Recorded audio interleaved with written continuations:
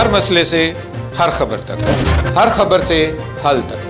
पंजाब हो या सिंध, बलूचिस्तान हो या सरहद।